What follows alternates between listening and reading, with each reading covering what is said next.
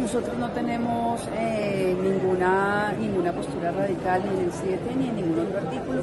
Nosotros en este momento estamos escuchando razones que pueden ser razones válidas de lado y lado. Hay opiniones divididas entre, entre los mismos ponentes y, vamos a hacer, eh, eh, quedamos en una hoja de ruta que a mí me parece muy sensata y es que con base en lo que hemos escuchado vamos a, realizar unas observaciones para el examen que, las penas eh, tan altas o la cadena perpetua pueden representar eh, esto que no queremos, que es el populismo punitivo.